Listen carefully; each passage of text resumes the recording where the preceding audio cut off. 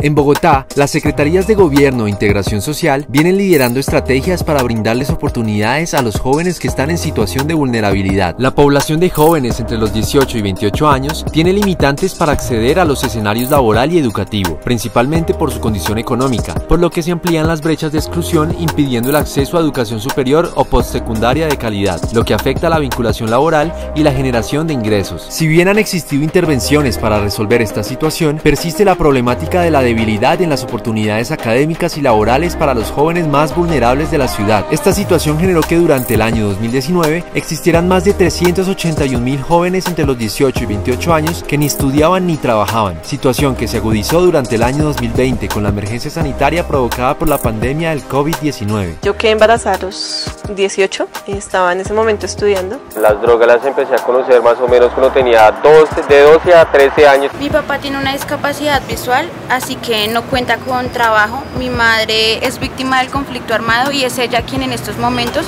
está supliendo el hogar. Bajo este contexto, las Secretarías de Integración Social y Gobierno establecieron el programa Parceros por Bogotá, contribuyendo a la reducción del riesgo social de jóvenes altamente vulnerables a través de su inclusión en dinámicas educativas, sociales y el cuidado del espacio público de Bogotá, que promueven la prevención, promoción y protección de sus derechos mediante un modelo de transferencias monetarias condicionadas a que cumplan con labores sociales capacitaciones. Un programa que les entrega 500 mil pesos mensuales como transferencia monetaria condicionada, acompañamiento psicosocial, enrutamiento para garantizar todos los derechos, educación, empleo, aprovechamiento del tiempo libre, aseguramiento en salud. Entre los resultados más destacados tenemos 5.672 jóvenes inscritos actualmente, 1.008 primeros jóvenes graduados del programa, 4.090 mujeres participantes y 1.582 hombres, 313 jóvenes con discapacidad beneficiarios del programa, 256 jóvenes con pertenencia étnica beneficiarios del programa, 1.207 familias que dependen completamente del joven, puesto que ahora cuenta con un ingreso, 515 jóvenes vinculados a una oferta laboral, 791 jóvenes vinculados a una oferta educativa, alrededor de 450 espacios públicos intervenidos, parques públicos, vías públicas, entornos escolares de Bogotá.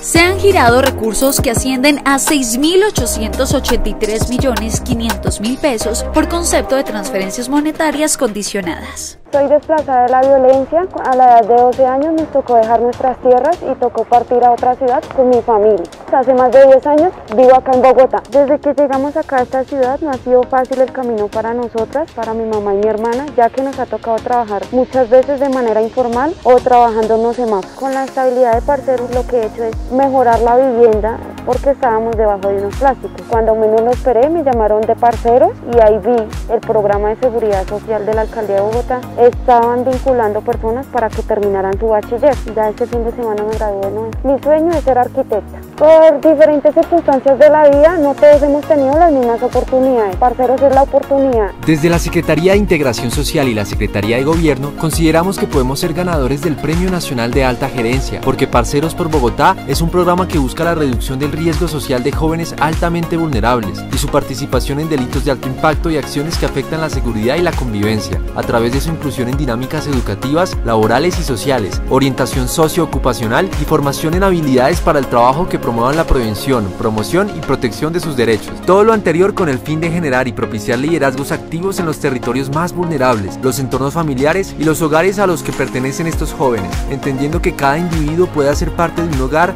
o conformar uno aportando al mejoramiento del tejido social.